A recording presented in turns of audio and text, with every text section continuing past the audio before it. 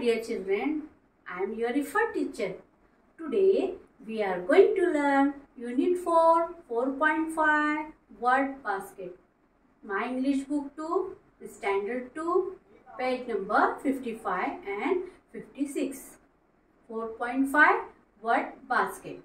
Point A Look, listen and repeat. प्यारे बच्चों मैं आपकी इफर टीचर फिर से आपकी खिदमत में हाजिर हुई हूँ उम्मीद करती हूँ आप सब खैरियत से होंगे।